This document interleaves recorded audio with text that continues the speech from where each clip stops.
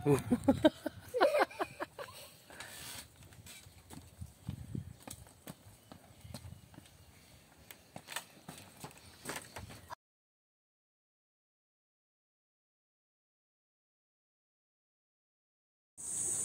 po ordinary galit ako tabato si Mindanao.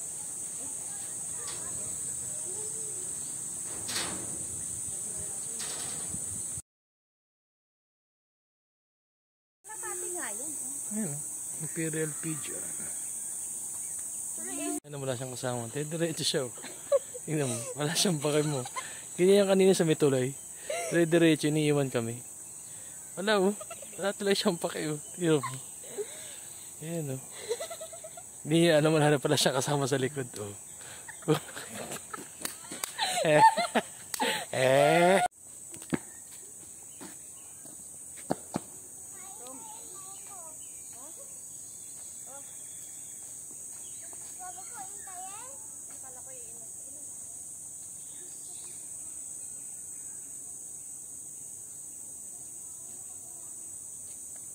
Dito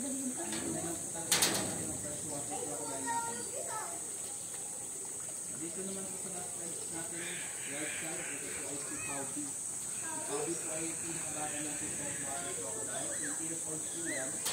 Dito hanggang 12 feet. Yak.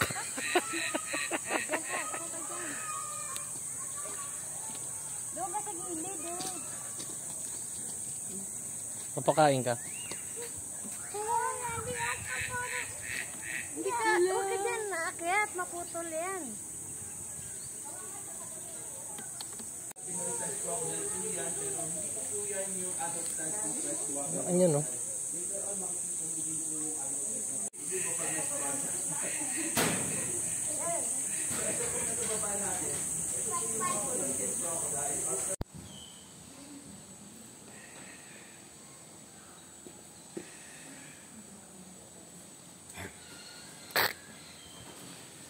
Kita mo yan? Meron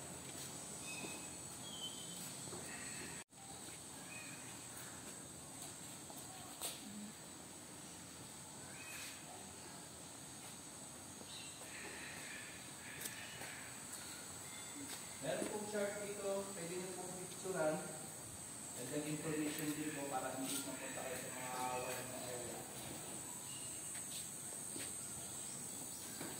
na to 100 degrees. Kaya po nila Baka mo flashy mo yan, mahuhulog yan. Nasa likod nyo naman po, ito po ay isang salt water din. Ay, ang pangalan naman po niya is Sumar. Galing po sa Sumara Bahay rin po ba Palawan. Southern part din ng Palawan. lang.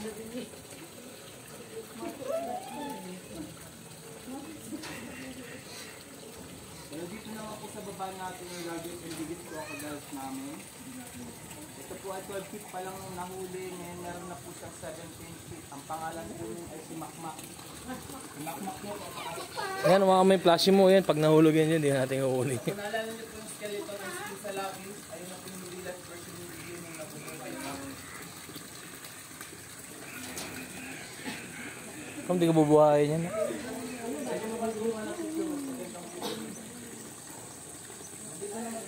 Seventeen feet. Water crocodile. Yung Grabe. dalayaan. Po yung may habang 15.9.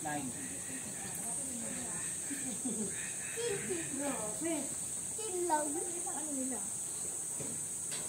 Oh. Actually ma'am, nakaikot po yan sila. ma'am. Nakagalaw po sila yan. Opo. Baka may buntot. Kaya magstay under Alright, and everyone in the world, we only have 24 species of crocodiles. Sa Pilipinas po, dalawa lang po ang meron. Ayan na po yung freshwater and saltwater crocodile.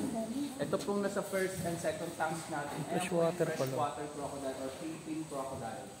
Or scientific name po nila is Crocodilus mendorensis kasi originally came from Mindoro po. Doon po talaga nanggaling yung mga Crocodilus mendorensis natin. Ang freshwater or Philippine crocodile natin, pinagbabawal na po yung paghuli at pagkatay sa kanila. Endangered na po sila. So ito naman pong nasa harapan, sir, Yan po yung mga saltwater crocodile or Indian Pacific crocodile. Familiar po ba kayo kay Lolo? Of English crocodile po in the wild. Actually, si Lolo po ay habang 20.6 long, almost 6 meters. Si Lolo po ay nanggaling sa Agusan del Sur, Mindanao. Wala po siya dito sa Palawan. Ang saltwater po natin, sila yung humahaba ng 6 to 7 meters or kaya po po nilang lumaki. Sila rin po yung pinaka-aggressive. Sila po yung kadalasang biktima ng crocodile and human conflict. Sila po yung madalas nakakala nakasalamusa ng mga ating mga tao. So nandito po sa loob, dito 5 years old pa lang po. Later on, makikita niyo po yung mga adult size na crocodile natin.